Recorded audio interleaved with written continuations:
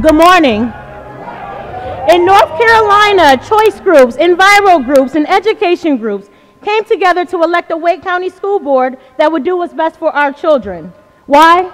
Because we know we have to break out of our typical silos to work together to effect real change.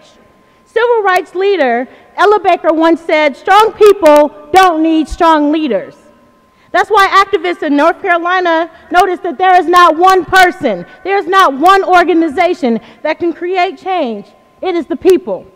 We formed Blueprint North Carolina, a coalition of 55 advocacy organizations because we fight for informed and active citizens.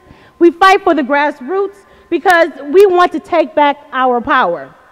Like many groups across the nation, groups like yours, we don't want our leaders to tell us what we need. We want the people to decide what we want.